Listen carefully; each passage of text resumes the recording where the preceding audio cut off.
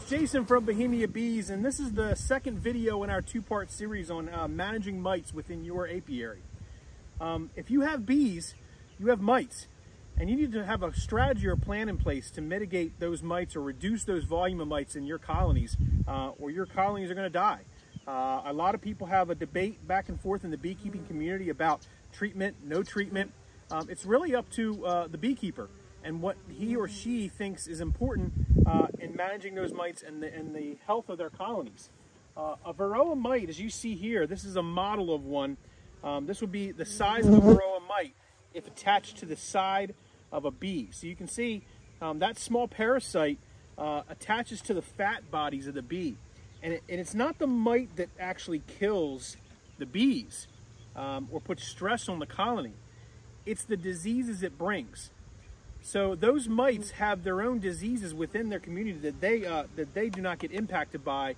But when they come into the colony uh, from the bees foraging out uh, on the flora sources in your area, and from other bee colonies and bees that they come in contact with, those mites uh, will attach onto that bee, come back, you know, start to lay eggs within the actual cells of the brood, and replicate sixfold in a very short period of time.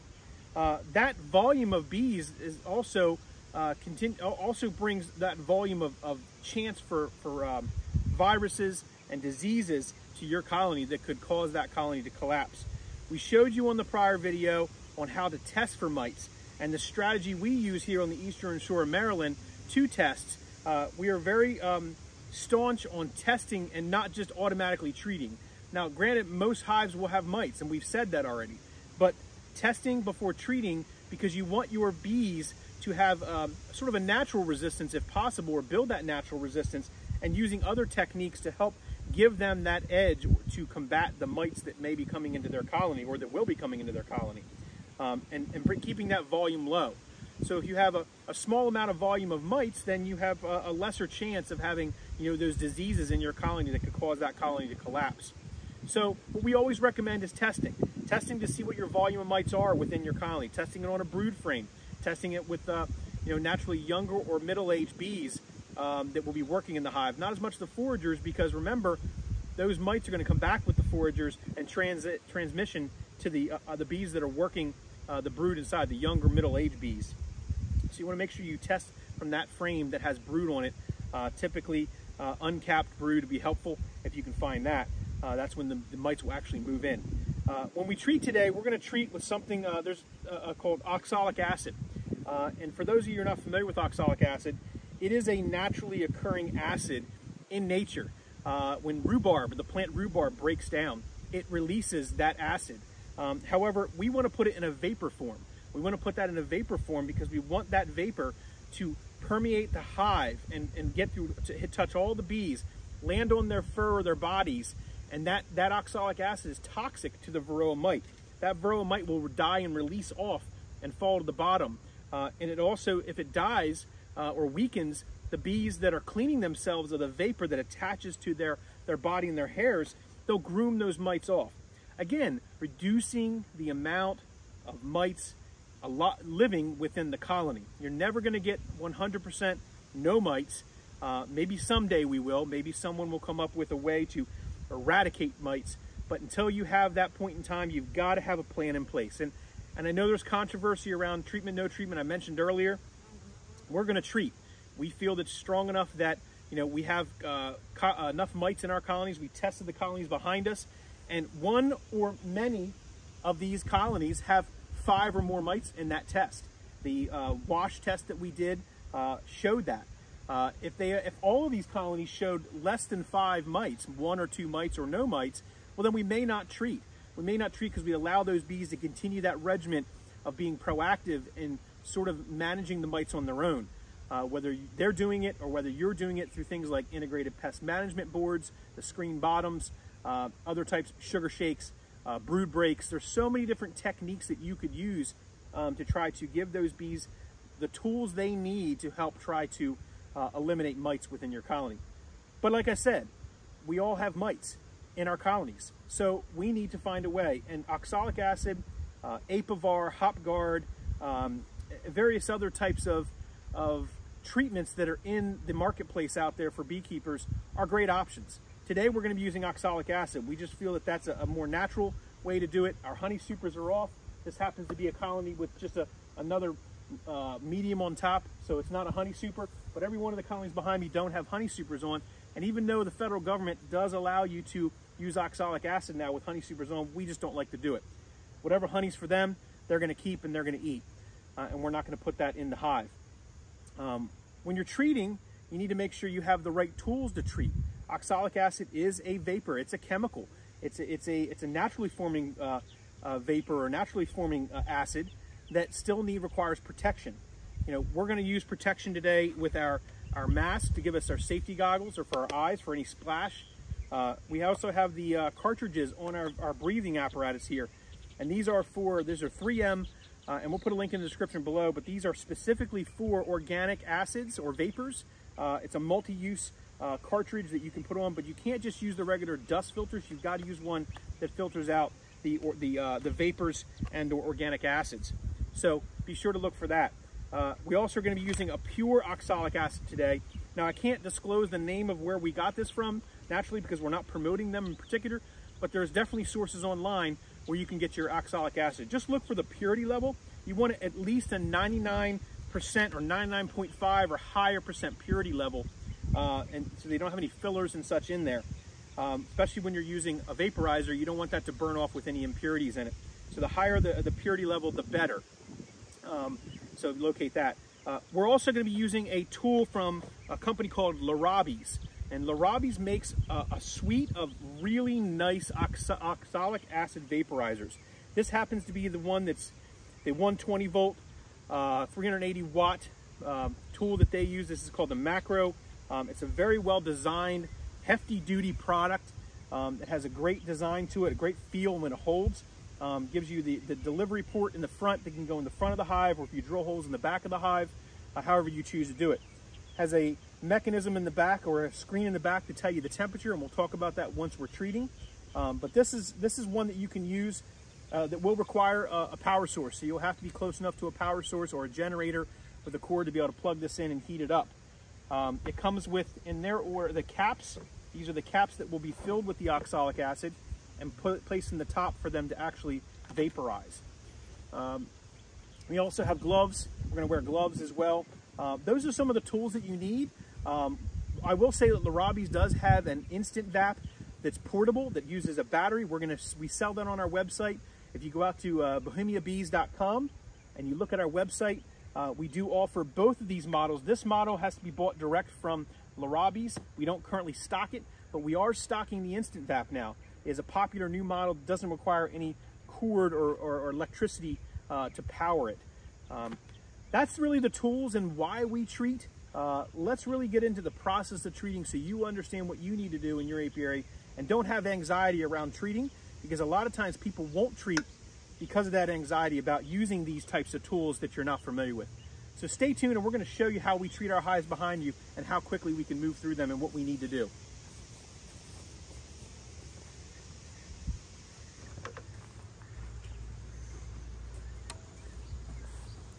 Okay, so the Larabie's uh, 120 volt macro uh, that we're using, again, it's a power source you have to have.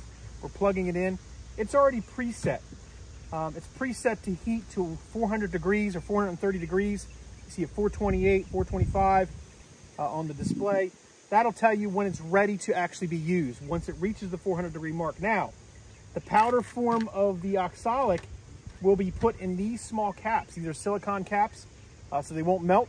Uh, we're gonna use a half a teaspoon and that is sufficient for one gram of oxalic acid per hive body, right? So we don't want to overwhelm our bees. We don't want them to abscond. We don't want to do too much um, in these colonies. Uh, so we're going to use just that half a teaspoon in this treatment.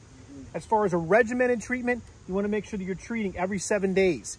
So a pattern of at least four to five treatments in a row every seven to 10 days will give you enough hit on that colony to destroy any mites that will be in any of the brood cycles because you'll be reaching only the uncapped brood. Any capped brood, this won't permeate the capped brood. The oxalic acid vapor will not go through that capped brood. So if there's any capped brood in here, it's not going to permeate it. So you want to make sure you have that cycle to kill over the next three to four weeks your uh, any brood that could emerge and be laid again or any mites that could be crawling around before they go into that cap brood state. Let's go and fill our silicon cap. We're going to set this to the side.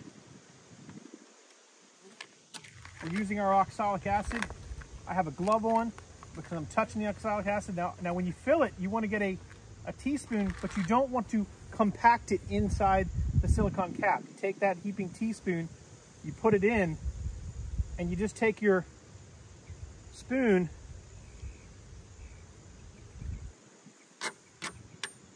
and you push it down. So that right there is what you want. That's a half a, if this is compacted, it would be a half a cap. So that's sufficient for what we want to do. If we want to double the dose and it's in spring, we might actually do a full cap, but that's sufficient for what you need. That's approximately one gram of oxalic acid powder. Now we're going to fill the rest of our caps. We're going to show you how we treat a hive. So we're going to set that to, to the side and put on our protective gear.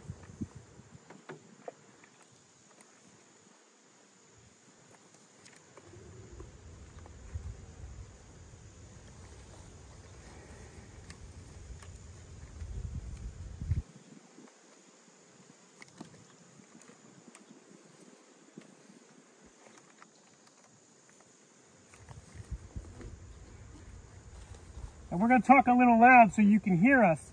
Um, we're going to go ahead and take the cap, we place it in the front, we look at our temperature, make sure it's over 400 degrees, and then we're going to take, put our gloves on,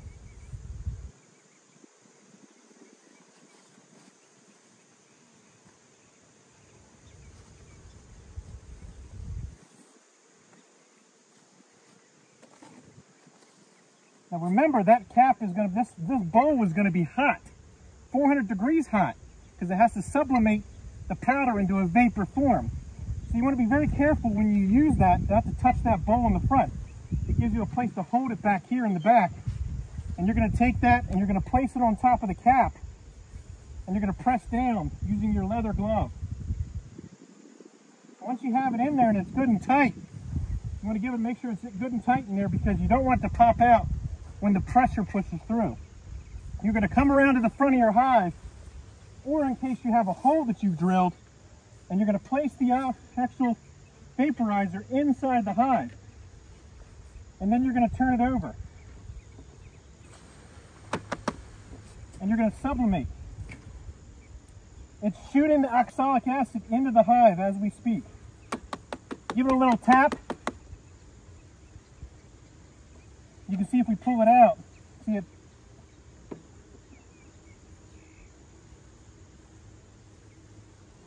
And what I'm watching for is my temperature to get back to 400 degrees. What that tells me is that the, the oil has been sublimated to 350 degrees. It's probably about 5 to 10 seconds as the oxalic acid sublimates. You can hear the bees buzzing inside.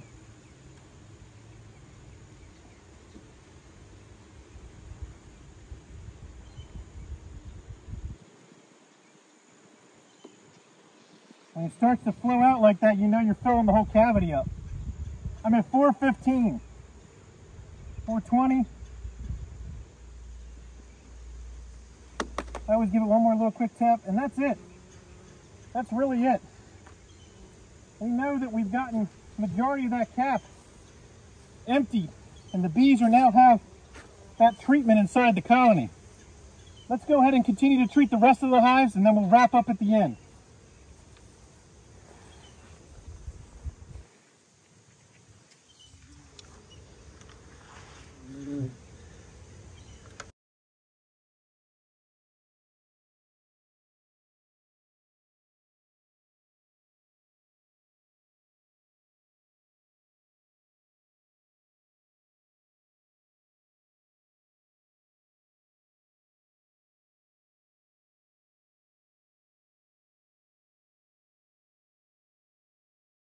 Okay, so we've completed our treatments on these colonies. Uh, we have another uh, cart like this, and we have two other yards we have to go through. But uh, it took us about approximately, you know, a couple minutes, a minute or two maybe per hive. Uh, that's just making, making sure that we've got everything set up and prepped loaded, and by the time the temperature drops below um, 400 and then reaches back to 400 again, that cycle is what allows us to have the um, the amount of oxalic acid that we put in that uh, the uh, cap to emulsify into a vapor and flood the whole cavity of the hive. Um, again, this is a, a treatment that you're going to want to repeat weekly, uh, every seven to 10 days, typically late summer, early fall, uh, when the brood starts to get um, uh, smaller and smaller, the nest starts to get smaller, and the volume of bees are, are still in the colony. Uh, you want to make sure you do that. And then once you've done this for over a series of two or three weeks, uh, maybe halfway through, test again. Test to make sure that your mite loads still are going somewhere, that they're actually going down. If they're not, then maybe you need to try something else. Maybe you need to try um, like Apivar mm. or Hopguard or some other type of treatment that could be uh, more, more uh, uh, impactful on your colony. Uh, don't be afraid to try different things or combinations. Um, sometimes some of our colonies will put a strip of Apivar in for about a week or two and then we'll start our program of cycling through all the oxalic uh, periods of every seven to 10 days for four to five periods. This gives a really good hard knockdown on those mites so that when they go through winter, the stresses of the mites are not there. The bees will then survive through the, the winter and come out strong in the spring. Really, it's just an overall strategy. It's really the good stewardship of bees uh, to treat. Uh, so whether you choose to treat or not to treat, we're not going to debate that, but we're going to at least encourage you to look at all the, the practices that are out there to help you mitigate those mites and the volume of mites within your colony. Because again, if you have beehives, you have mites, and you better have a plan, or your mites may be uh, creating a mite bomb for your neighbor uh, that may have beehives within a three to five mile radius of you when the bees are out foraging. So you want to be a good stewards of your apiary so that you're not impacting someone else's apiary. Uh, with that, I'd like to wrap up the video. Again, this is part two. Uh, we have a link in the description below or within the, um, the cards in the top corner here. Uh, we'll also make sure that we put it within a, um, a group uh, so you can actually see that series of what to do to test and then how to treat. We use the oxalic acid this time. I'll also find a video on there that where we show when we're putting Apivar in so you can see that method of treatment as well.